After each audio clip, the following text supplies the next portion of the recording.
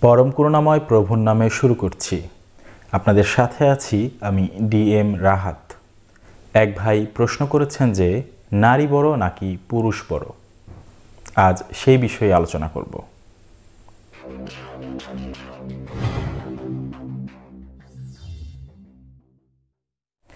দুটি সত্তা রয়েছে, একটি নারী আর একটি পুরুষ। এখন প্রশ্ন হচ্ছে, নারী বড় নাকি পুরুষ বড়? বা নারীর মর্যাদা বেশি নাকি পুরুষের মর্যাদা বেশি? সর্বপ্রথম আমাদের বুঝতে হবে আসলে পুরুষ কি এবং নারী কি? বা পুরুষকে নারী কে? আমরা যাদের নারী ভাবি, তারাই কি নারী? আর যাদের পুরুষ ভাবি, তারাই কি পুরুষ? আগে এই বিষয়টা আমাদের বুঝতে হবে ভালো মতো। প্রথমেই বলেছি, মূল দুই সত্তা, অর্থাৎ পুরুষ ও নারী। আধ্যাত্মিকতায় যেটাকে বলা হয় পুরুষ ও প্রকৃতি। এই পুরুষ, আমরা যে পুরুষ বলতে যাদেরকে বুঝি, অর্থাৎ পুরুষ মানুষ, সেই পুরুষ নয়। এই পুরুষ হচ্ছে পরম, প্রকৃতি হচ্ছে নারী। অর্থাৎ পরম বলতে যিনি আছেন, স্রষ্টা, তিনিই একমাত্র পুরুষ। আর সৃষ্টি বলতে যা কিছু আছে সব কিছুই হচ্ছে প্রকৃতি। বা নারী। অর্থাৎ সামাজিকভাবে বা এই দুনিয়াদারিতে যে বাহ্যিক একটা বিচার রয়েছে নারী এবং পুরুষের, এই বিচারটা আধ্যাত্মিকতার জন্য না। আধ্যাত্মিকতার দৃষ্টিতে যাদেরকে পুরুষ বলা হচ্ছে তারাও নারী, যাদেরকে নারী বলা হচ্ছে তারাও নারী। কারণ সৃষ্টি বলতেই নারী, পুরুষ একজন, তিনি হচ্ছেন পরম, স্রষ্টা। বাকি যা কিছু দেখি বা যা বাকি যা কিছু আছে সবই নারী বা প্রকৃতি। এদিক দিয়ে বোঝা যায় নারী সমান সমান সৃষ্টি, সমান সমান প্রকৃতি, অর্থাৎ সৃষ্টি, প্রকৃতি, নারী। অপরদিকে পুরুষ এবং পরম, অর্থাৎ পুরুষ সমান সমান পরম। এখন এদিক দিয়ে যদি বিচার করি, স্রষ্টা এবং সৃষ্টি, পুরুষ এবং প্রকৃতি বা পুরুষ এবং নারী, কে বড়? সাধারণভাবে চিন্তা করলে প্রথমেই যেটা আসবে সেটা হচ্ছে অবশ্যই এক্ষেত্রে পুরুষ বা স্রষ্টা বড়। নারী, প্রকৃতি বা সৃষ্টি ছোট। এটা সাধারণ দৃষ্টিতে বিচার করতে গেলে দেখা যায়। কিন্তু প্রশ্ন হচ্ছে, যদি সৃষ্টি না থাকে, তাহলে স্রষ্টার কী বা মূল্য আছে? অর্থাৎ, সৃষ্টি করেছেন বিধায়ী তো তিনি স্রষ্টা, যিনি সৃষ্টি করেন না, তিনি তো আর স্রষ্টা না। তিনি তখনই স্রষ্টা হয়েছেন যখন তিনি সৃষ্টি করেছেন, অর্থাৎ আগে সৃষ্টি করতে হয়েছে। সৃষ্টি যখন রূপ পেয়েছে, তখনই তিনি স্রষ্টা হয়েছেন। তাহলে বোঝা গেল, সৃষ্টি ছাড়া স্রষ্টার কোনো মর্যাদা নেই। কারণ তিনি যাদের ওপর গৌরব করবেন, তারাই যদি না থাকেন, অর্থাৎ তার সৃষ্টি, তাহলে তার গৌরবের কিছু নেই। অর্থাৎ একা একেশ্বর যিনি তিনি যদি একাই থাকতেন, আর যদি সৃষ্টি না থাকতো, তাহলে তার মর্যাদা কম বা বেশি হওয়ার কিছু ছিল না, তার মান কম বেশি হওয়ার কিছু ছিল না। যদি একটি রাজ্যে শুধু রাজাই থাকে, কোনো প্রজা না থাকে, সেক্ষেত্রে রাজার কোনো মর্যাদা থাকে না। প্রজারা আছে বিধায়ী সে রাজা। বান্দা আছে বিধায়ী তিনি মালিক। কিছু জিনিসের উপর আমাদের মালিকানা আছে। তো আমরা বলি যে অমুক জিনিসের মালিক অমুক। যদি সেই জিনিসটা না থাকে, তাহলে কিন্তু সে মালিক না। তো সৃষ্টি আছে বলেই তো স্রষ্টা তিনি। বান্দা আছে বলেই তিনি প্রভু।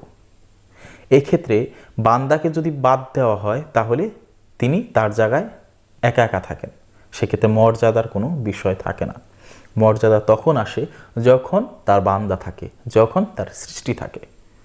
তাই সৃষ্টিকে ছোট করার কিছু নেই এখানে। তবে সৃষ্টির অবশ্যই এটা মাথায় রাখতে হবে যে, আমরা সৃষ্টি। তিনি পরম, তিনি দাতা, তিনি প্রভু, আমরা তার দাস। তো সবসময় আমাদের এটা মাথায় রাখতে হবে যে আমাদের চোখে তিনি সবসময় মহান। প্রজার চোখে রাজা সবসময় বড়। রাজা এবং প্রজা কখনো সমান নয়। প্রজা ছাড়া রাজা হওয়া যায় না। এই দিক দিয়ে প্রজার অনেক মর্যাদা, কিন্তু প্রজা প্রজাই, রাজা রাজাই। অর্থাৎ স্রষ্টা স্রষ্টাই, সৃষ্টি সৃষ্টি, এটা সৃষ্টিকে মাথায় রাখতে হবে। সেই দিক দিয়ে বলতে গেলে পুরুষ বেশি মর্যাদা সম্পন্ন।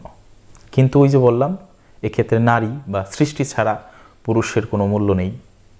তাই নারীকে ছোট করার উপায় নেই। কিন্তু স্বাভাবিকভাবে যে প্রশ্নটা করা হয়েছে, সেটা হচ্ছে আসলে দুনিয়াদারির দিক থেকেই যে নারী এবং পুরুষ রয়েছে তাদের মধ্যে আসলে কে বড় এবং কে ছোট?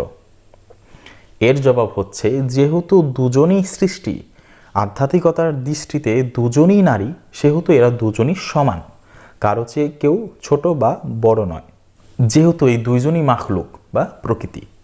আরেকটা গুরুত্বপূর্ণ বিষয় হচ্ছে, অনেকেই নারী এবং পুরুষকে আলাদাভাবে দেখার বিভিন্ন কারণ খুঁজেন। যে সে পুরুষ তাই তার মর্যাদা বেশি, সে এটা সেটা করতে পারে, তার এই গুণ আছে, নারীর এই দুর্বলতা রয়েছে। অনেকে অনেকভাবে বিচার করেন। তো সেভাবে বিচার করতে গেলেও নারীর অনেক ক্ষমতাও রয়েছে। সেগুলি বাদ দিলাম।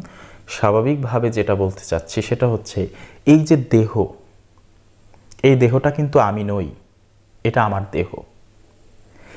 যে আত্মা রয়েছে,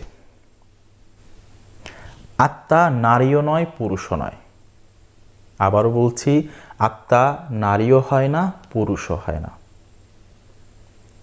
আত্মা নারী এবং পুরুষের দেহ ধারণ করে।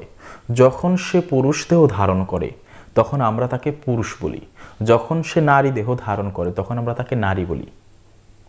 আর এই দেহ ধারণের বিষয়টা নির্ভর করে তাদের কর্মের উপর। যে যেমন কর্ম করবে, তেমন দেহ লাভ করবে। অর্থাৎ কর্মের ফল পাওয়ার জন্য যদি নারী দেহ আবশ্যক হয়ে পড়ে, তাহলে সে নারী দেহ লাভ করবে। আর কর্মের কারণে, অর্থাৎ কর্মের ফলাফল বা প্রাপ্তির জন্য বা শাস্তি হোক বা ভালো হোক, পাওয়ার জন্য যদি পুরুষ দেহ লাভ করতে হয়, তাহলে আত্মা পুরুষ দেহ ধারণ করে। এই যে আত্মা কোন দেহ লাভ করবে এবং কোন দেহ লাভ করবে না এটা নির্ভর করে তার কর্মের উপর। কিন্তু তার মানে এই না যে পুরুষ দেহ ভালো দেহ বা উন্নত দেহ, নারী দেহ, দুর্বল দেহ, এরকমটা নয়। কারণ দুনিয়াদারির দিক থেকে বিচার করলেও দেখা যায় অনেক পুরুষ আছেন যারা বিকলাঙ্গ। চোখে দেখেন না, এই দেহ দিয়ে কোনো কাজ করতে পারেন না। অপরদিকে অনেক নারী আছেন যারা অনেক কাজ করতে পারেন। তাহলে কীভাবে এই দেহ দ্বারা বিচার করতে পারি আমরা? যেহেতু এই দেহ দ্বারা বিচারের সুযোগ নেই। কারণ নারীরাও অনেক কিছু করতে পারে। পুরুষের কিছু ক্ষমতা আছে, অপরদিকে নারীরও কিছু ক্ষমতা রয়েছে। তাই সৃষ্টিতে নারী এবং পুরুষ সমান। নারীদের মধ্যেও অনেক মহিমান্বিত নারী রয়েছেন। যেমন হজরত ফাতেমাতুজ্জোহরা আলহিসাল্লাম তারপর হজরত রাবিয়া বাসরি রহমাতুল্লাহ, আরও অনেক আছেন। হজরত আসিয়া আলহিসাল্লাম হজরত মৌরিয়াম আলহিসাল্লাম ওনারা অনেক মর্যাদাশীল নারী। দুনিয়ার পুরুষদের চাইতে তাদের মর্যাদা অনেক বেশি। ওনাদের মর্যাদার কাছে লক্ষ কোটি পুরুষের মর্যাদা কিছুই নয়। এগুলি সবাই বোঝেন। তারপরও নারীকে ছোট করে দেখার যে চিন্তা মানুষের, এটা বোকামি ছাড়া আর কিছু না। আবার যদি সনাতন ধর্মের কথা বলি, তাহলে দেখা যায় শক্তির দেবী, অর্থাৎ কালী বা দুর্গা, অপরদিকে বলা যায় যে যিনি লক্ষ্মী, তারপর বিদ্যার দেবী সরস্বতী। এই যে সনাতন শাস্ত্রের কথা বলছি আমি, তাদের মর্যাদা কিন্তু অনেক বা তাদের গুরুত্ব কিন্তু অনেক। অন্য অনেক দেবতার চাইতে তাদের গুরুত্ব বেশি। তাই আপনি যে ধর্মেরই হয়ে থাকেন না কেন, নারীকে ছোট করার উপায় নেই।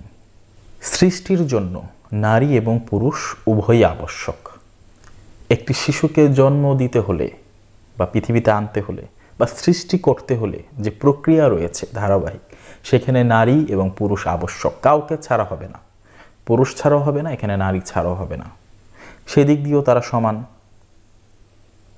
এমন না যে একজন ছাড়া হয়ে যাবে। যদি হয়ে যেত তাহলে মর্যাদার কম বেশি করা যেত। পুরুষ যদি বীজ হয়ে থাকে, তাহলে নারী হচ্ছে জমি। বীজ একা একা কোথাও জন্মায় না। কোথাও যদি মাটি ছাড়া, অর্থাৎ জমি ছাড়া কোথাও বীজ রেখে দেওয়া হয়, সেটা একা একা নষ্ট হয়ে যায়। আবার জমি যত উর্বরই হোক, সেখানে যদি বীজ রোপণ না করা হয়, সেখানে শস্য কখনো ফলবে না। অর্থাৎ বীজও প্রয়োজন, জমিরও প্রয়োজন। তাই সৃষ্টিতে নারী এবং পুরুষ সমান।